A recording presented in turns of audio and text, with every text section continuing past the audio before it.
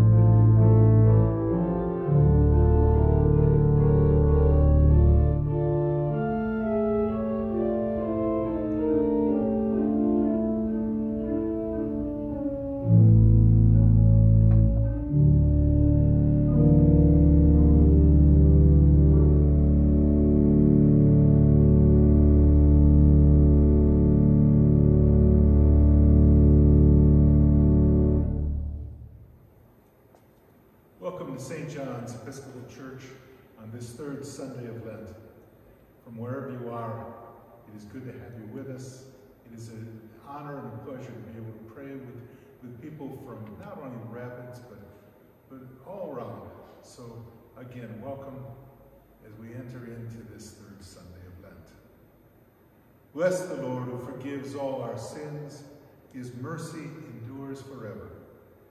Jesus said the first commandment is this, Hear, O Israel, the Lord our God is the only Lord.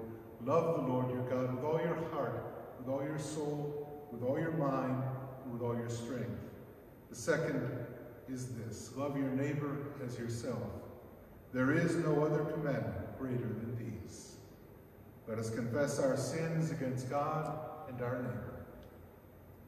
Most merciful God, we confess that we have sinned against you in thought, word, and deed, by what we have done and by what we have left undone.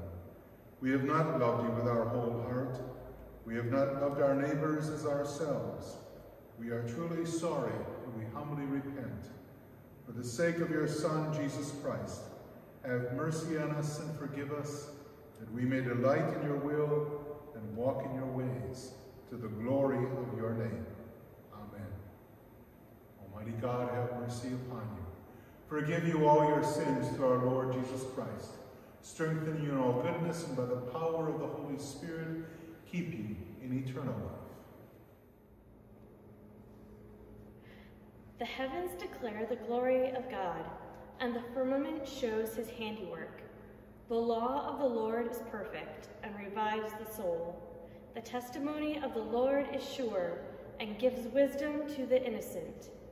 The statutes of the Lord are just and rejoices the heart. The commandment of the Lord is clear and gives light to the eyes. The fear of the Lord is clean and endures forever.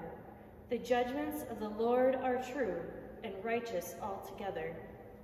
More to be desired are they than gold, more than much fine gold, sweeter far than honey, than honey in the comb. By them also is your servant enlightened and in keeping them there is great reward. Who can tell how often he offends? Cleanse me from my secret faults. Above all, Keep your servant from presumptuous sins. Let them not get dominion over me. Then shall I be whole and sound, and innocent of a great offense. Let the words of my mouth and the meditation of my heart be acceptable in your sight. Let us pray. Almighty God, you know that we have no power in ourselves to help ourselves. Keep us both outwardly in our bodies and inwardly in our souls, that we may be defended from all adversities which may happen to the body, and from all evil thoughts which may assault and hurt the soul, through Jesus Christ our Lord, who lives and reigns with you in the Holy Spirit, one God, forever and ever.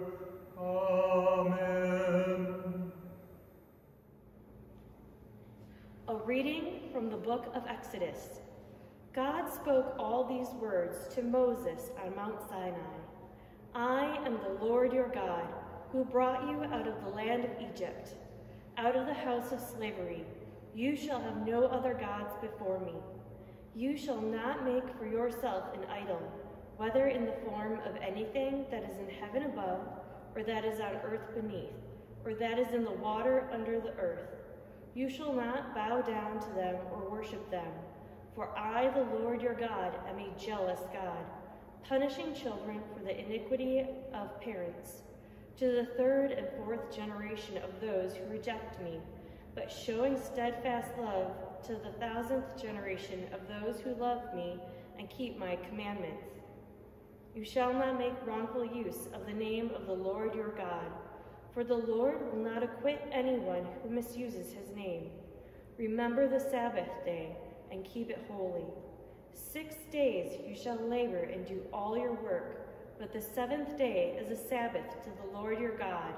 You shall not do any work, you, your son or your daughter, your male or female slave, your livestock, or the alien resident in your towns.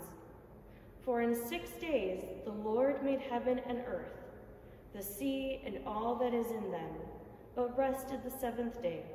Therefore the Lord blessed the Sabbath day and consecrated it. Honor your father and your mother, so that your days may be long in the land that the Lord your God is giving you. You shall not murder. You shall not commit adultery. You shall not steal. You shall not bear false witness against your neighbor. You shall not covet your neighbor's house. You shall not covet your neighbor's wife or male or female slave, or ox or donkey, or anything that belongs to your neighbor. The word of the Lord.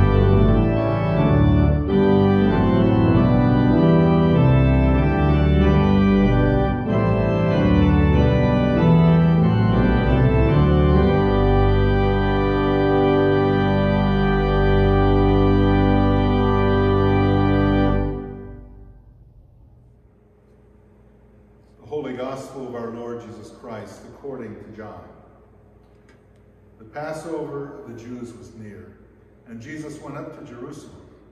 In the temple, he found people selling cattle, sheep, and doves, and the money changers seated at their tables. Making a whip of cords, he drove all of them out of the temple, both the sheep and the cattle. He also poured out the coins of the money changers and overturned their tables. He told those who were selling the doves, Take these things out of here. Stop making my father's house a marketplace. His disciples remembered that it was written, Zeal for your house will consume me. The Jews then said to him, What sign can you show us for doing this? Jesus answered them, Destroy this temple, and in three days I will raise it up. The Jews then said, This temple has been under construction for 46 years, and you will raise it up in three days? But he was speaking of the temple of the body. After he was raised from the dead, his disciples remembered that he had said this, and they believed the scripture and the word that Jesus had spoken. The gospel of the Lord. In the name of the Father, and of the Son, and of the Holy Spirit. Two very different lessons, or so it seems. The one from Moses receiving the commandments on the mountain, and then Jesus driving the money changers and those who were selling cattle and, and sheep and doves from the temple. And yet, maybe they both speak to how we organize our lives around what's important to us and how we need to organize our lives in order to raise up that which is important to us. When God called the people of Israel out of Egypt, he knew that what he had was a ragtag group, barely cohesive. They'd been slaves. They'd been subject to other people's authority. And they really didn't have a common mind of their own. They knew that they had come from another land, that Joseph had been their father. But when all was said and done, it was still a group of slaves. So a lot of the time in the wilderness was spent in creating a family, a nation, in which God would be the center of their life. And it would take time. It would take time for them to understand that their identity was going to be found in the relationship they, that they had with God and that relationship that was lived out with each other and with the larger world. The time in the wilderness was a time of preparation and a time of, of giving birth to a nation. They would become the people of God. They would become the children of Israel during that time in the wilderness. And as a part of that experience, God would give them the Ten Commandments. He would give them the law to love Him, to love each other as they love themselves, to live life with a set of order. The Ten Commandments weren't just meant to tell people what they could and couldn't do. It was rather God's gift to the people. This is how you should organize yourselves. Around a love for me, around an appreciation for what I have given you, my place in your life. Organize your life around a sense of appreciation that would allow you to take a day as, the as a day of rest. And as you do that, look at the rest of your life. Look at the relationships you have with your parents, with your neighbors, with the people you work with, the people you share a home with. Order your life accordingly so that you can show respect and honor to one another, so that you have a common expectation of how you will live and how you will share that life and be a community. And that when you fall short, there will be ways to reconcile yourselves, find forgiveness, and give forgiveness. Allow the love that you know from God to work through you into the life and the world that you live in. And so, really, it's no surprise that when we come to the gospel and Jesus enters into the temple prior to the Passover, and all the people are gathered around, that it's no surprise that he becomes upset. That he looks around him and sees a marketplace that's grown up at a place where God is to be worshiped, where people are supposed to come and be able to be the people of God. But what has evolved is a marketplace that sells the people the needs that they, the animals they need to sacrifice in the temple. The money changers, so that the strangers and foreigners can get money in the currency of, the, of Jerusalem. In some sense, it made sense. It was practical to have the marketplace there. But with the marketplace there, it was easy to forget what the temple was all about. It was easy to lose sight of who we are and who we're called to be. So Jesus drove out the money changers and, the sellers of the animals and birds, trying to create a place where people might once again come and enter into a sense of the holy and the sacred, might once again enter into a place where they can meet God.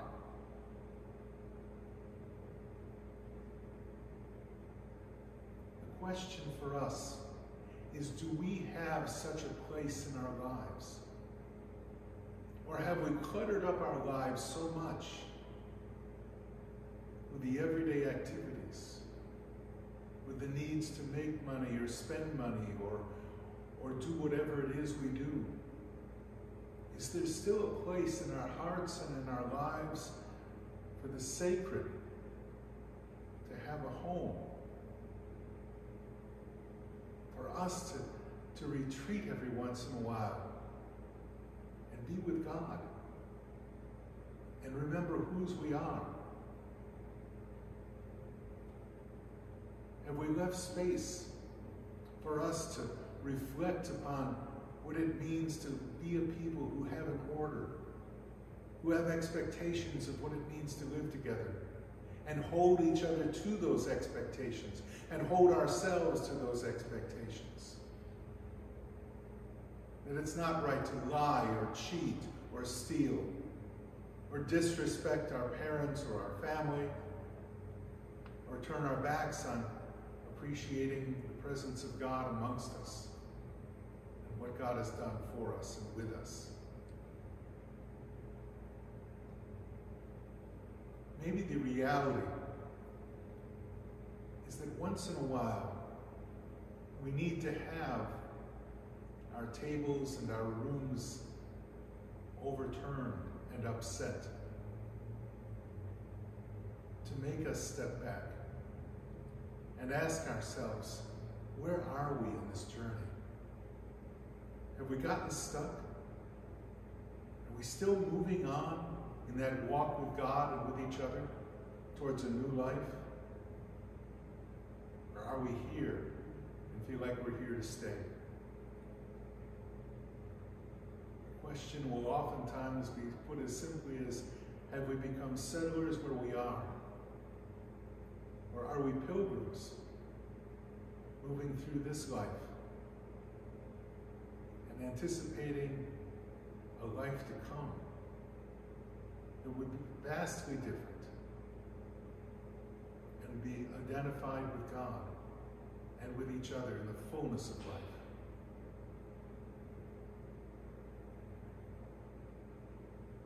God entered into the temple through Jesus and challenge the people to look upon the temple and see it not as a business, but rather as a sacred place to meet Him and to meet each other.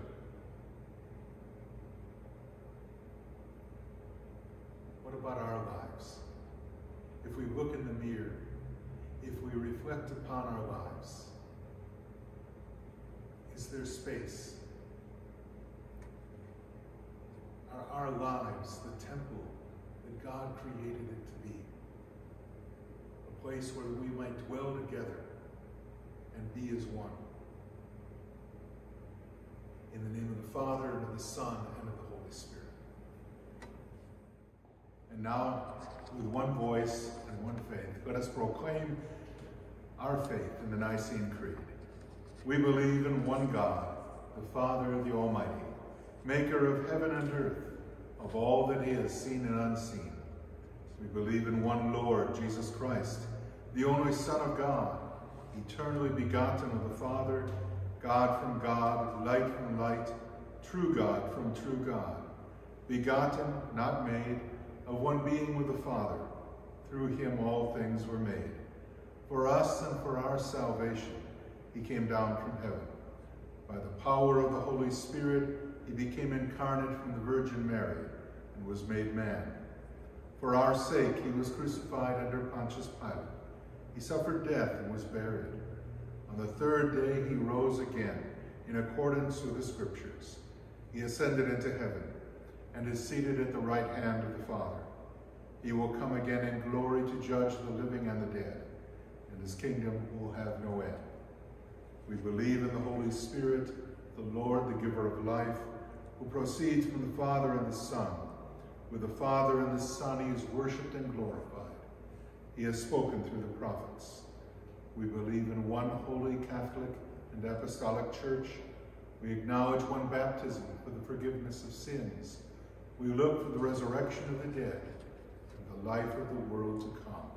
Amen. Lord, in your time, you established covenants with your people through Noah, Abraham, and Jesus, and promised to walk with your people always. In this time of uncertainty, remind us of the covenant we have with you. Help us to walk with you and each other and never lose hope in the relationship with you that brings us life. Good Lord, deliver us. Lord Jesus lived among us, suffered and died with us. We lived in a world filled with suffering, pain, and death, and yet we do not lose hope. We lift up those who search for relief and healing, especially Mary, Father Ed Smith, Bob Clearworth Jr., Janine, Jane, Irene, Steve, Crystal, Aaliyah, Joan, Katie Rose, Bob Gardner, Barb Caves, Mike Stromley, Phil Malcolm, and all affected by the COVID virus. Good Lord, deliver us. Lord, you gave Moses the commandments so we might order our relationships with you and each other. Jesus drove out the people from the temple to call us back to you. Call us to return when we fall short or separate ourselves from you and other or hurt one another. Let us be people of reconciliation. Good Lord, deliver us. Lord, you sent your Son into the world to destroy the darkness of our lives and the world. Inspire us with your light. Inspire those who lead the nations of the world. Inspire the leaders of the church, especially Michael, Matthew, and David, to be lights for the world we live in. Good Lord, deliver us. Lord, your Son came into the world to live among us, to lead us through death into new life. Help us embrace your promise of resurrection not only for ourselves, but for others as well. We remember especially today James Metcalf and Elizabeth Hill. Good Lord, deliver us. Let us pray. Good Lord, deliver us from whatever keeps us from loving you and each other. Forgive us, renew us, heal us, that we might fulfill the dream you have for us and become your children and your family. All this we ask in the name of Jesus Christ through the power of the Holy Spirit. May God's peace be with us now and remain with us always.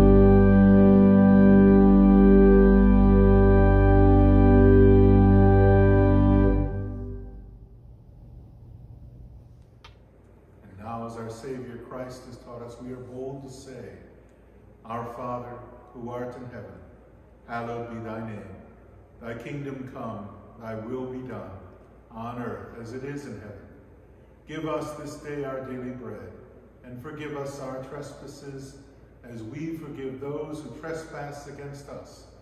And lead us not into temptation, but deliver us from evil. For thine is the kingdom, and the power, and the glory, forever and ever. Amen. Let us pray. God of abundance, even when we cannot receive you in the sacrament of bread and wine, you feed us spiritually and unite and you unite us with Christ and one another. You have made us one with all your people in heaven and on earth. Now send us forth in the power of your Spirit, that we may proclaim your redeeming love to the world and continue forever in the risen life of Christ our Savior. Amen. Look mercifully on this your family, Almighty God, that by your great goodness they may be governed and preserved evermore. And may the blessing of God Almighty, Father, Son, and Holy Spirit be upon you this day and remain with you forevermore. Amen. Let us go forth in the name of Christ.